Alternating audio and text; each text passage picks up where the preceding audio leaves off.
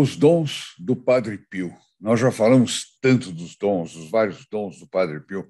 Eu me lembro que uma vez eu fiquei muito impressionado que uma, com uma, um comentário que o Padre é, Paulo Ricardo fez, ele dizia o seguinte: dir-se-ia que Deus exagerou no Padre Pio, de tantos dons que Deus deu para o Padre Pio. Né? Eu achei muito interessante esse, esse comentário, porque é verdade.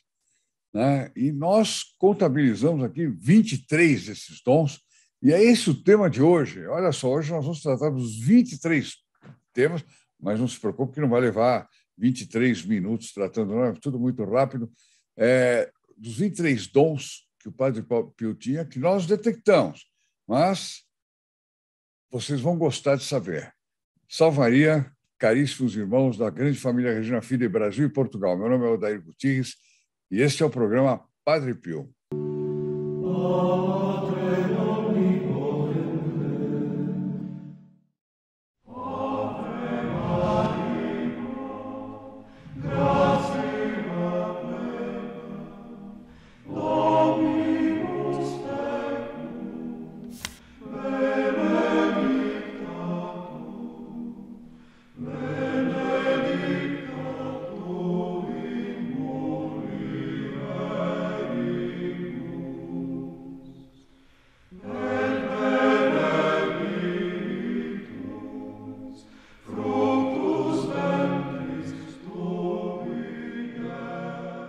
Bom, pessoal, não esqueçam que nós estamos distribuindo a Madonna Dele Grazie. Aí, olha só, o telefone está embaixo para você telefonar, pedir essa estampa benta, colocar num porta-retrato bonitinho, perto da sua cabeceira, na, na, na, na, cama do seu filho, na cabeceira dos filhos, dos netos. Olha, é, era a, uma das, não vou dizer que era a devoção do Padre Pio, mas o Padre Pio tinha por ela uma devoção toda especial, e eu tenho a impressão que Junto com isso, vem algumas bênçãos é, que ele vai conseguir por intercessão.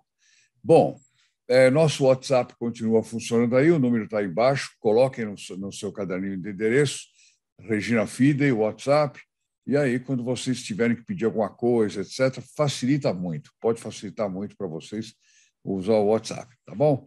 E amanhã, afinal, afinal, nós teremos a missa do dia 25 de maio, que é o dia festa do nascimento do Padre Pio. Ele faria, se ele estivesse vivo, ele estaria completando 135 anos. Né?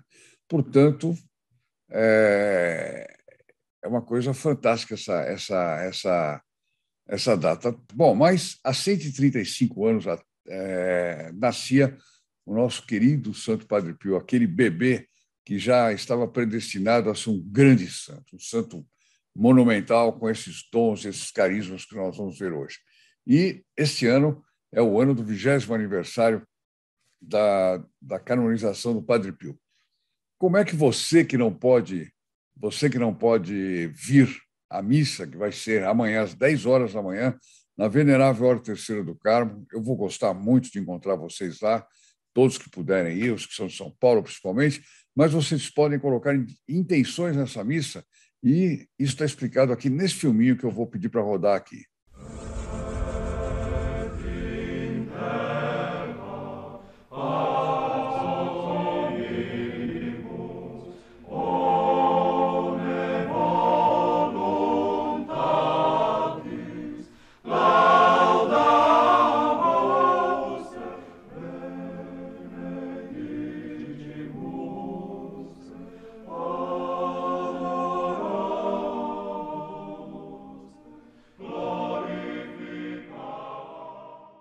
Então, não deixem de pedir, eh, de, de, de, colocar intenções. E amanhã, amanhã, como é um dia especial, nós vamos começar o nosso programa Padre Pio. Vai ser uma entrevista com a priora da Venerável Ordem Terceira do Carmo, Dona Elisângela Salomão, que é, foi a São Giovanni Rotondo, chegou agora, esses dias, e ela foi a São Giovanni Rotondo levar, e ela levou, fez a gentileza de levar para nós todos os nomes daqueles que tinham pedido orações, os pedidos de orações e tudo mais de maneira que ela vai, vai nos conceder essa gentileza de uma entrevista especial que vai sair amanhã, amanhã cedinho, tá bom? Vamos ver os dons espirituais do Padre Pio. Olha, nós fomos levantando os dons e fomos procurando a explicação deles na em vários teólogos de peso. Olha, tem um aqui é, é um batalhão de peso. Padre Tanquerrey, famoso, A Vida Espiritual Explicada e Comentada, é, Teologia da Perfeição Cristã, do padre Antônio Royo Marim, As Três Idades da Vida Interior, do padre Garrigou Lagrange, e Teologia Espiritual, do padre Jordan Oman. Vocês estão vendo que não é, não é brincadeira. Então, baseado nisso, foi montado esse, esse texto que nós vamos agora degustar juntos aqui e vamos vendo. E eu vou pedir, na medida que eu cite a, a, o dom, que ele fique na tela aqui, só para lembrar que nós estamos falando desse tom, tá certo? Vamos lá, então. É, muitas vezes, nas histórias de Santo Padre Pio, vemos manifestarem-se diversos dons especialíssimos que caracterizam sua atuação no confessionário, na direção e no cuidado das almas. Porém, na mente de muitos pode pairar a dúvida: mas o que é bilocação? O que é leitura das consciências? O perfume do Padre Pio também é outra coisa. Como é que isso acontece como isso se explica à luz da teologia? Né?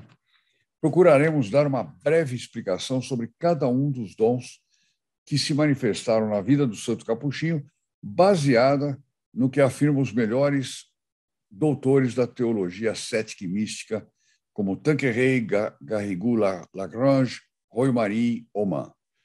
Antes de mais nada, devemos explicar que esses dons não são concedidos a todos e, portanto, não são sintomas, não são, não são todos os santos que têm esses mesmos dons.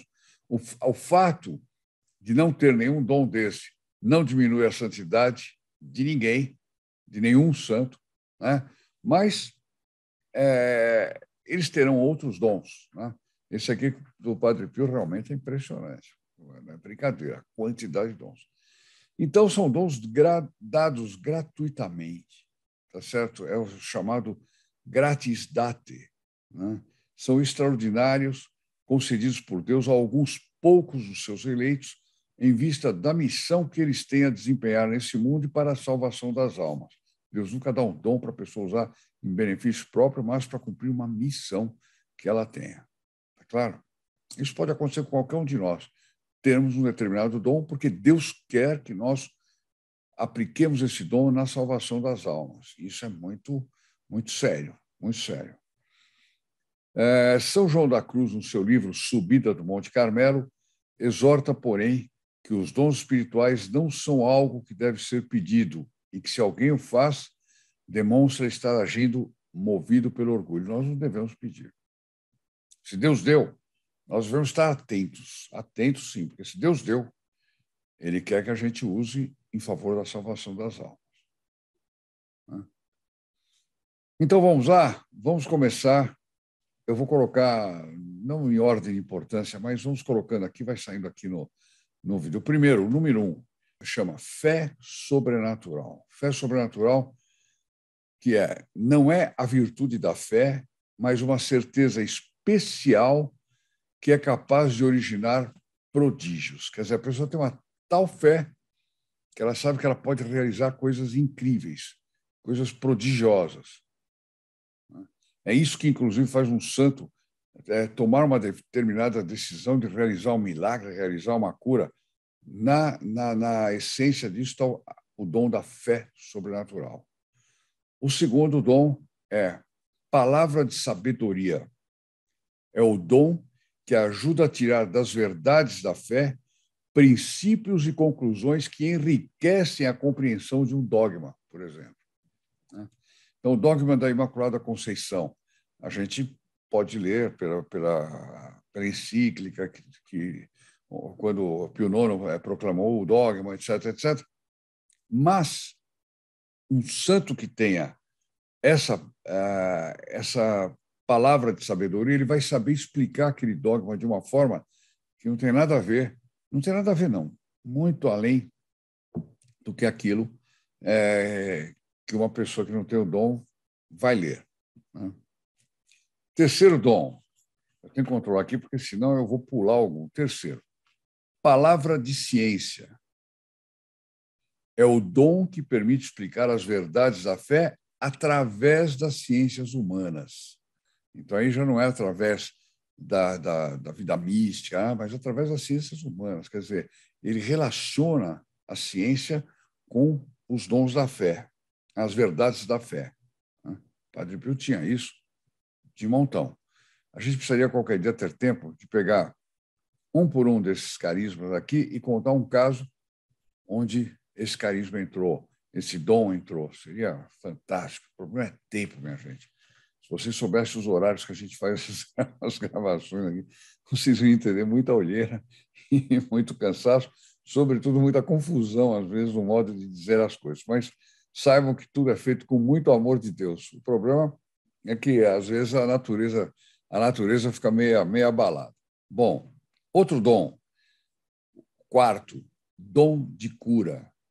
Dom de cura é o poder de curar os doentes instantaneamente ou quase instantaneamente. Quer dizer, ou ele produz um, um milagre, a pessoa estava paralítica, sai de lá andando, ou ela vai aos pouquinhos melhorando, melhorando, melhorando, até daí algumas horas está andando, daí uns dias está andando, etc. Esse é o dom de cura, tá claro? Outro é o dom de milagre, dom de milagre. Quinto dom é o dom de operar algum prodígio a fim de confirmar uma revelação divina recebida. Quer dizer, ele consegue interferir na, na, na, no processo natural das coisas, porque o milagre é isso, né?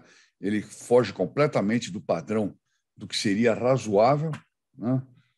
para resolver um problema. Então, quer dizer, esse dom do milagre dá ao santo a capacidade de ter uma revelação divina de que ele deve fazer aquele milagre.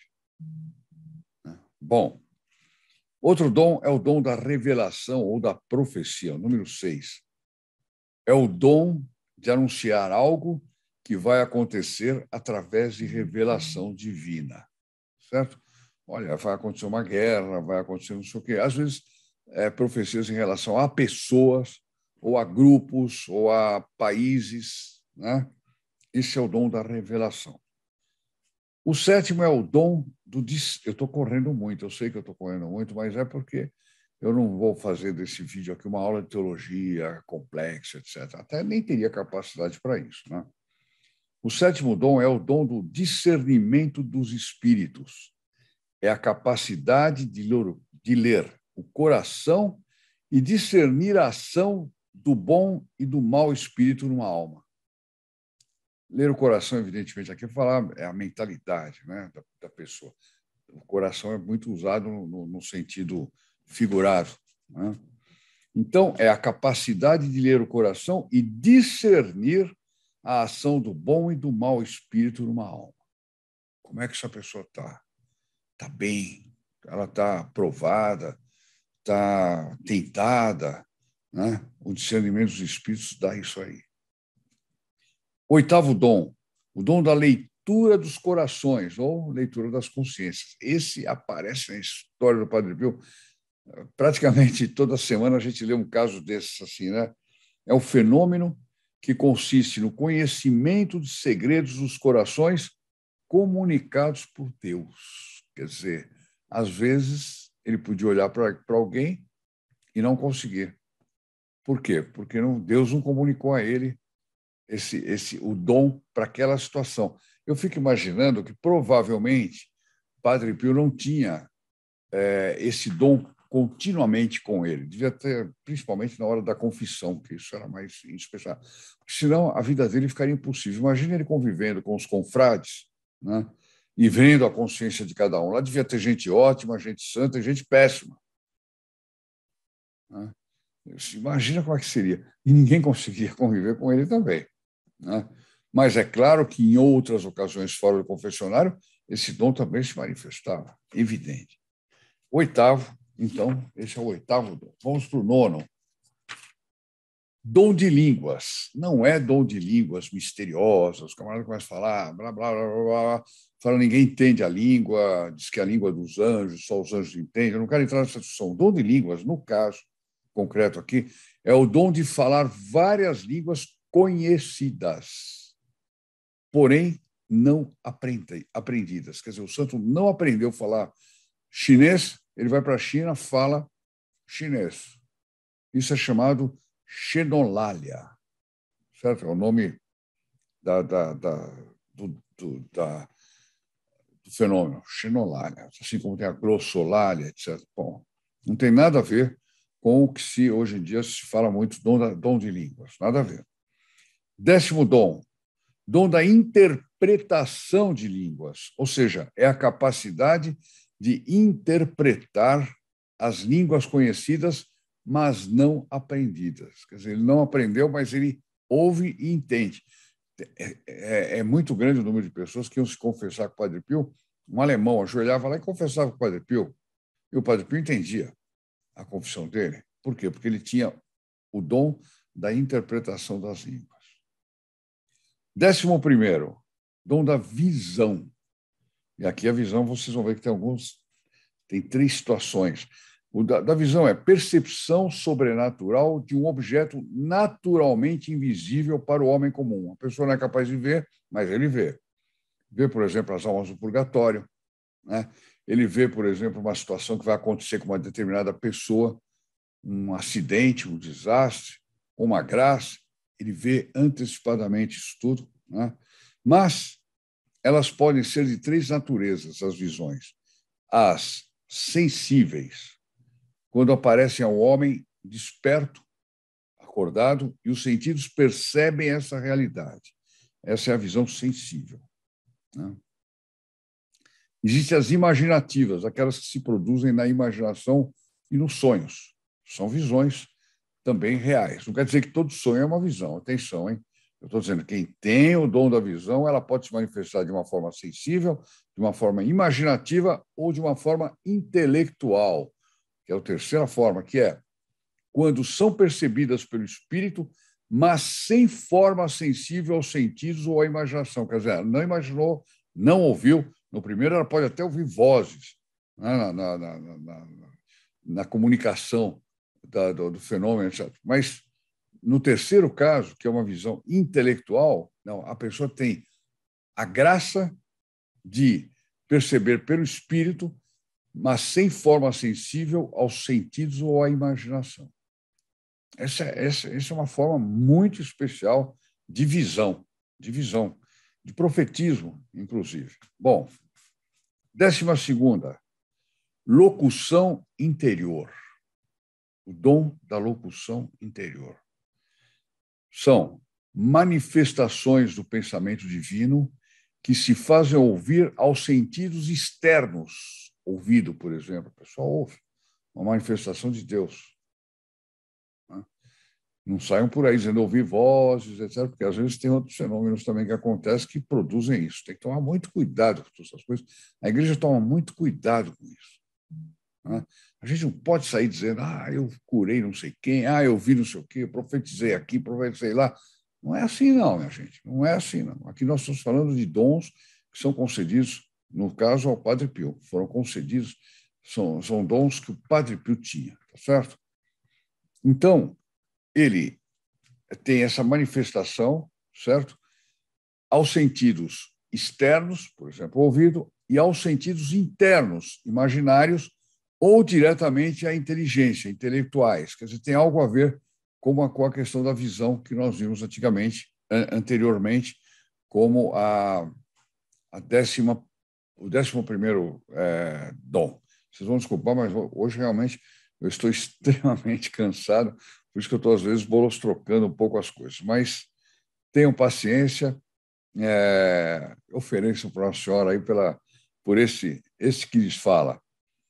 O décimo terceiro dom é o dom da hierognosis. Hierognosis, olha só que interessante. É a capacidade de reconhecer imediatamente uma pessoa, lugar ou coisa santa, benta ou consagrada e distingui-la daquilo que não é.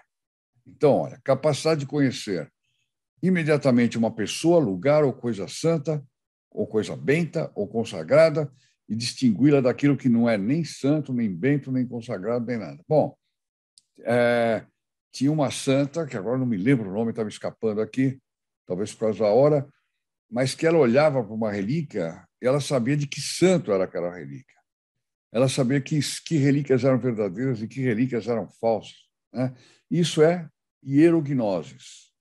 Esse é o nome do fenômeno, do dom. Outro dom é o dom da ciência infusa, né? que Adão tinha a ciência infusa. Deus deu para ele todo. Deus, Adão teve que fazer universidade, faculdade para aprender tudo, mas ele sabia tudo. Né? Ele sabia tudo. Ele olhava para o animal e dava o nome, leão. Aquele nome correspondia exatamente à qualidade daquele animal como Deus queria que fosse, e assim por diante. Bom, o Padre Pio tinha ciência infusa, que é a capacidade de conhecer e discorrer sobre uma ciência humana que nunca foi previamente estudada. Nós já demos alguns exemplos aqui do Padre Pio falando, por exemplo, em assuntos de medicina. É uma ciência humana, mas o Padre Pio ia e dizia, não, é assim, assim, assim, tem que fazer tal coisa. A pessoa está com tal doença, ou não está. Ciência infusa. E mesmo questões, se não me engano, uma vez perguntaram para ele uma questão, uma questão de física, de química, ele sabia. Né? Ele não tinha feito nenhuma faculdade de física, de química, de biologia, nada disso. Né? Décimo quinto, é, espero não ter pulado nenhum dom aqui, é o incêndio de amor. Fenômeno pelo qual um calor extraordinário é percebido na área do coração e às vezes se espalha por todo o corpo. Vocês lembram das febres do Padre Pio, que arrebentavam os termômetros, etc. Depois ele estava andando normal lá, com 45 graus de febre, tocando a vida normal. Ali se dava um incêndio de amor. Tem uma outra, um outro dom que eu nunca tinha ouvido falar, chamado inédia. Inédia. O que é um jejum prolongado, uma inanição, fenômeno pelo qual os santos vivem sem outro alimento senão a sagrada comunhão por períodos prolongados. Bom, o Padre Pio comia praticamente nada. Eu acho que ele comia mais para cumprir a programação do convento do que propriamente por fome. É uma coisa impressionante. Esse é a 16 16 dom. 17 vigília, fenômeno pelo qual os santos vivem em privação prolongada de sono. Padre Pio típico. Ficava até tarde respondendo cartas, até tarde confessando, depois até tarde ainda atendia os irmãos todos lá do convento. Depois ele ficava respondendo cartas a noite inteira. Depois ele acordava duas horas antes da missa, duas horas e meia, às vezes antes da missa, das cinco da manhã, para se preparar para a missa. Quer dizer, quanto tempo esse homem dormia? Quase nada, ou nada. Ou quando dormia, dormia uma hora. Né? Esse fenômeno, esse dom, era o dom da vigília. O 18º dom é o dom do êxtasis, do êxtasis, fenômeno que se manifesta nos mais altos estágios da vida espiritual, quando a alma absorta em admiração e contemplação e contemplação de Deus tem os seus sentidos exteriores como que suspendidos da atenção externa, para estarem somente atentos em Deus. Então a pessoa entra num estado de oração tal, por exemplo, é, Santa Teresa. Santa Teresa diz que ela tinha um êxtases tão fenomenais que às vezes ela estava trabalhando na cozinha e ela levitava né, em êxtase e continuava fritando peixe. Isso conta na, na biografia dela. Né? Uma coisa impressionante. É, é por esse, pelo êxtase, né, que acontecem, é por meio desse, desse, desse dom que acontecem outros fenômenos, como o dos eflúvios luminosos, nós vamos explicar daqui a pouquinho, dos eflúvios odoríficos, odoríferos, perdão, é, da bilocação, da levitação e da estigmatização. Padre Pio estigmatizado, isso era essa estigmatização apareceu durante um êxtase. Né? Eu falei também da, da levitação. Padre Anchieta, Padre Anchieta, naquela igreja, quem conhece aqui em São Paulo, do Itanhaém, né? ele levitava até o alto, lendo o breviário, ele levitava até a nave, até o teto da igreja. E muitas vezes tinham que chamá-lo para que ele pudesse descer. É impressionante. Né? Impressionante. O décimo nono é o dom da bilocação ou telepatia espiritual. Então, aqui, ó, consiste na presença aparentemente simultânea de um corpo físico em dois lugares distintos ao mesmo tempo. Esse é um dos mais estupendos de todos os fenômenos místicos. extraordinários e um dos mais difíceis de explicar. Nós temos um vídeo aí do Padre Pio explicando a bilocação, como é que se dava. Mesmo assim, não fica tão claro como se dava. Ele dizia que os dois, ele, vamos supor que ele se bilocasse para a Espanha e ficasse no convento de São Giovanni Rotono, os dois tinham conhecimento do que estava se passando. Mas como é que era esse conhecimento? Essa, essa é uma é uma é uma discussão que vai longe, vai longe. Né? É, eu já ouvi cada barbaridade nessa matéria, por isso eu não vou entrar nessa discussão.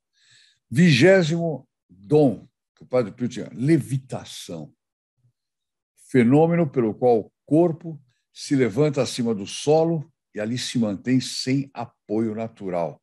É o que era Santa Teresa e São José de Anchieta. Né? Bom, acho que eu já tinha dado. Não, tinha falado da bilocação. Vigésimo, levitação. Vigésimo primeiro, eflúvios luminosos, resplendor. Né? Fenômeno pelo qual o corpo é cercado de luz mais brilhante que qualquer outra luz ao redor. Se prolonga por um tempo notável, a pessoa fica resplandecente é quase uma, uma lâmpada acesa. Isso é dito por vários que assistiam à missa do Padre Pio, que o Padre Pio, num determinado momento, ele ficava iluminado, iluminado. E era como se tudo tivesse ficado escuro e ele, Padre Pio, fosse um, tivesse luz própria. Né? O que, que é isso? Um eflúvio, é um dom do eflúvio luminoso, do resplendor. O resplendor. Existe também no 22 segundo é, Dom, os eflúvios odoríferos. É o perfume, o famoso perfume do Padre Pio. Imagina. Bom, eu vou ler primeiro a definição. Fenômeno pelo qual Deus permite que do corpo dos santos exalem perfumes que demonstram o bom odor das virtudes que eles praticam. É o odor de santidade. Padre Pio, nas chagas dele, que sangravam, né? e que é o 23º dom, nós vamos falar daqui a pouquinho, que sangravam. Não é agradável, o cheiro de sangue não é agradável. Ainda mais depois que ele fica seco. Enfim, não deve ser agradável. Eu nunca cheirei sangue, não deve ser agradável. Eu acho que tem algo a ver com cheiro da decomposição de alguém. Mas o do Padre Pior, ao contrário. Das chagas dele saiu um perfume maravilhoso, a tal ponto de muita gente dizer: mas como é que um padre que tem voto de pobreza usa perfumes tão bons? E o superior dizer: não, ele não usa perfumes tão bons, não, isso sai dele. Né? Então, olha só que coisa, são eflúvios odoríferos. Isso acontece até hoje. Muita gente diz e testemunha que sente o perfume do Padre Pio, né? mas aí, evidentemente, já não, não, não tem a ver com esse com, com o fenômeno assim como está, porque aqui eh, o Santos tem que estar vivo, né? E esse eflúvio sai do corpo dele. No caso de pessoas que sentem é, o perfume do Padre Pio ou um perfume estranho em algum lugar, isso pode ser uma graça concedida até através dos anjos tal, para que a pessoa tenha é, noção da proximidade do Padre Pio ou de um aviso, de alguma coisa assim. E o 23 Donc é estigmatização. Né? Os estigmas. É o do, fenômeno pelo qual as chagas de Nosso Senhor Jesus Cristo são impressas no corpo, nos pés, nos locais onde o mesmo Senhor as recebeu, nos pés, nas mãos, no lado e na fronte, coroa de espinhos.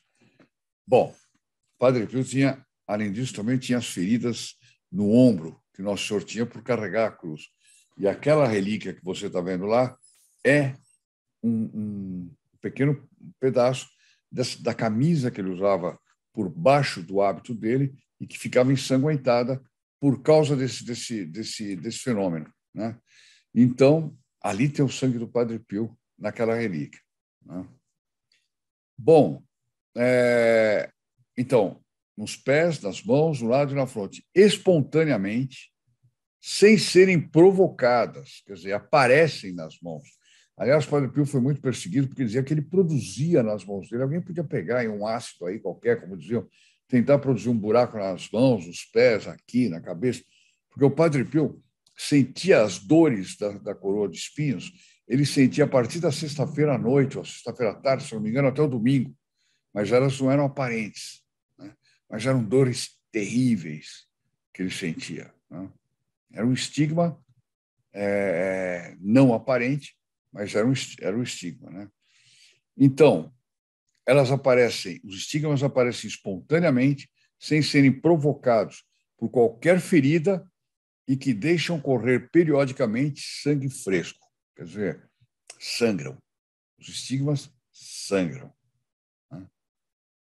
No caso do Padre Pio, com um perfume maravilhoso. Está aí os 23 dons que, por enquanto, lendo ao longo de quase três anos, quase quatro anos, né, que nós estamos falando do Padre Pio aqui, é, é, que nós detectamos. Talvez tenham outros, né, não sei. Vamos, se aparecer, nós vamos um dia fazer um, um vídeo aí, os 30 dons do, do, do, do Padre Pio. Né?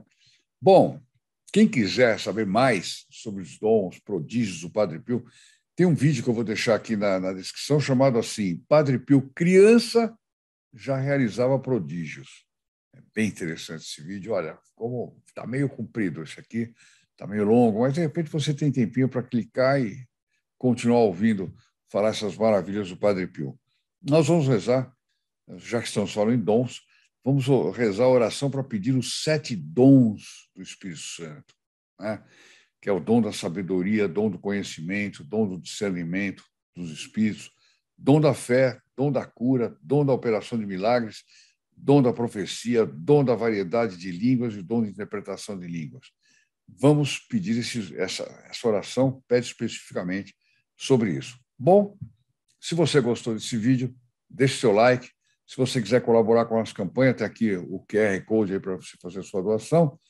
E é, não esqueçam que amanhã nós vamos ter a entrevista especial. O programa Padre Pio amanhã começa com a entrevista da dona Elisângela, priora da Venerável Hora Terceira do Carmo aqui de São Paulo, que nos vai brindar com sua com, com seu relato a respeito de como foi a sua viagem a San Giovanni Rotondo.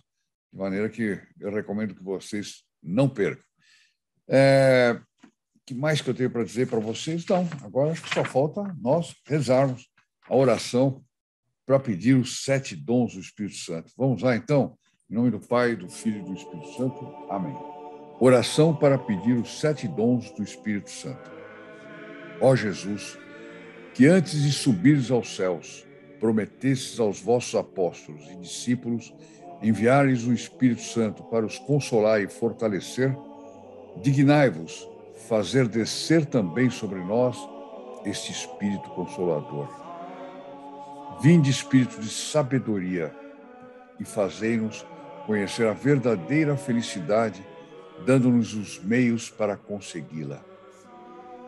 Vinde, Espírito de inteligência, que por vossa divina luz nos fazeis penetrar as verdades e os mistérios de nossa santa religião. Vinde, Espírito de conselho, e ajudai-nos a discernir em todas as ocasiões o que devemos fazer para cumprir com a vossa divina vontade. Vinde, Espírito de fortaleza, e prendei-nos a Deus e aos nossos deveres, de maneira que nada jamais nos possa abalar. Vinde, Espírito de ciência, que único nos podeis dar o perfeito conhecimento de Deus e de nós mesmos. Pedimos-vos esta ciência divina e única, necessária com todo o ardor de nossa alma. Vinde, Espírito de piedade, para que saibamos executar com alegria e prontidão o que Deus nos manda e para que, pela unção de vosso divino amor, achemos verdadeiramente leve e suave o jugo do Senhor. Vinde, Espírito do temor de Deus, e fazei-nos evitar, com maior cuidado, tudo que possa desagradar ao nosso Pai Celestial Glória a vós, Pai eterno, que com o vosso Filho único e Espírito Consolador viveis e reinais por todos os séculos dos séculos. Amém. Em nome do Pai, do Filho e do Espírito Santo. Amém. Linda oração, tá aí, ó. Sabedoria, inteligência, conselho, fortaleza, ciência, piedade, temor de Deus. Espero que todos tenham gostado desse, desse vídeo. Ficamos agora com a Ave Maria, por todos os que assistiram esse vídeo, né? E com a bênção do Padre Pio. Lembrando que amanhã, além da entrevista, além da missa, às 10 horas, vai ter uma surpresa para quem telefonar para nós aqui, tá bom? Salve Maria, caríssimos irmãos da família Regina Fide, Brasil e Portugal, e até a próxima. Ave Maria, cheia de graça. O Senhor é convosco. Bendita sois vós entre as mulheres, e bendito é o fruto do vosso ventre, Jesus. Santa Maria, Mãe de Deus, rogai por nós, pecadores, agora e na hora da nossa morte. Amém. In nome del Padre, del Figliolo e dello Spirito Santo, e così sia. Gesù e Maria, e buonanotte a tutti.